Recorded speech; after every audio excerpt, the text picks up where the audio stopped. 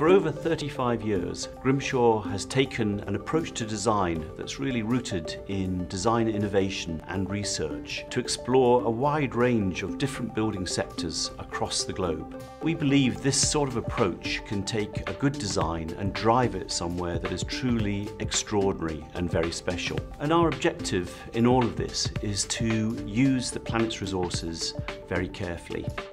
So when we were approached to put forward ideas for the Sustainability Pavilion for the Dubai World Expo 2020, we were of course very aware of the very challenging environment that it would be placed within. But in many ways we saw this as an incredible opportunity to demonstrate what can be achieved even in a hot and arid environment. If you can create a truly sustainable pavilion in that environment, then you can actually replicate that type of thinking anywhere.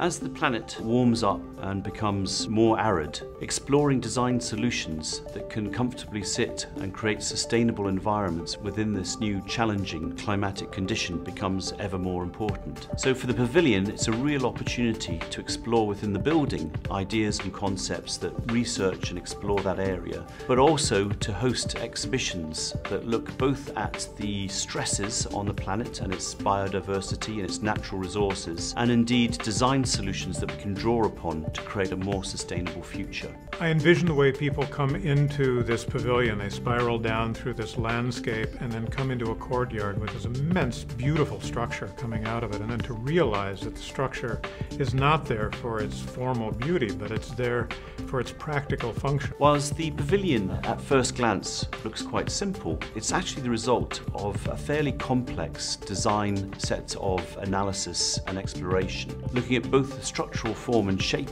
of the pavilion's roof and the performance criteria of the environmental systems placed within it. It actually pulls the water out of the air that sustains the building. It's capped with solar cells that provide the power for the building. The idea that this magnificent building is also self-sustaining is such an incredibly inspiring model for people to see. Our visitor attractions reflect the culture and geography that they're placed within. They have fascinating and endearing civic spaces, but it's important that they also don't overwhelm the visitor and the experience they take away from that visit.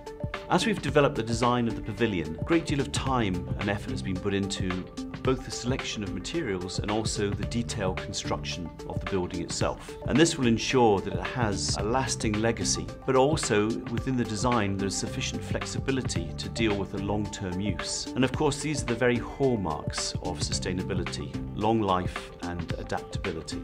We believe that this will not only give the building a long and lasting legacy from the Expo, but will also inspire future generation of global thinkers.